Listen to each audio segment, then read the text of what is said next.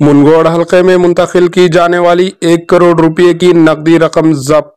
रियासत तेलंगाना के दारकूमत शहर हैदराबाद के मजफ्फात में वाक़ नारसिंगी रोड पर पुलिस ने गाड़ियों की तलाशी के दौरान दो गाड़ियों में मुंतकिल की जाने वाली एक करोड़ रुपए की रकम जब्त कर ली। बताया जाता है कि ये रकम मुनगोड़ असम्बली हलके में बीजेपी उम्मीदवार राजगोपाल रेड्डी के लिए मुंतकिल की जा रही थी। पुलिस ने नकदी ले जाने वाले पाँच अफराद को हिरासत में ले लिया। और इनके पूछताछ कर रही है पुलिस की इब्तदाई तहकीकात में।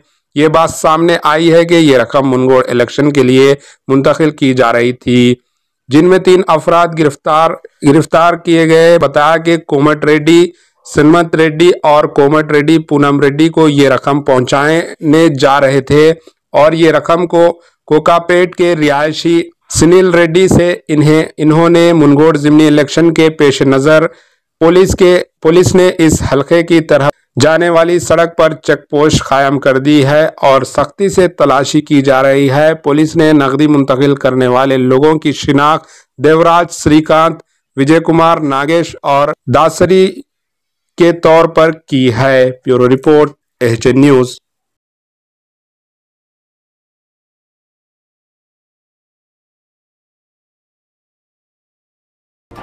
H News को लाइक करें शेयर करें और सब्सक्राइब करना ना भूलें।